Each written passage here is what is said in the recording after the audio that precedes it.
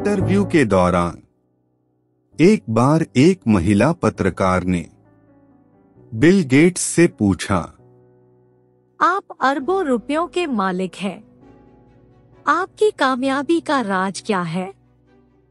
Bill Gates ने उस बात का आंसर देने की बजाय उस पत्रकार को एक ब्लैंक चेक दिया और कहा कि तुम्हें जितने पैसे चाहिए इस चेक में भर लो। उस महिला पत्रकार ने सरप्राइज़ होकर कहा ये आप क्या कह रहे हैं? मैंने आपसे पैसे नहीं मांगे। आप बस मेरे सवाल का जवाब दे। और उसने वो चेक वापस दे दिया। बिल गेट्स उस महिला की तरफ़ देखकर बोले मेरी कामयाबी का राज यही है। मैं कभी मौके नहीं गवाता, जैसे आज आपने गवा दिया।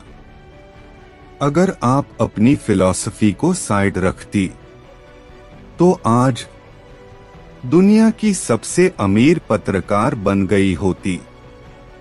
दोस्तों, ऐसे ही कई मौके हम भी अपनी लाइफ में ये कहकर छोड़ देते हैं।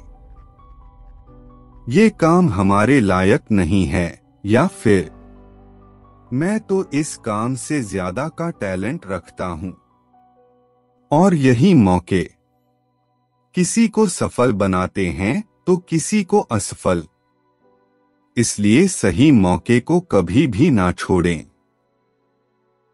Like comment and subscribe the channel for more updates thank you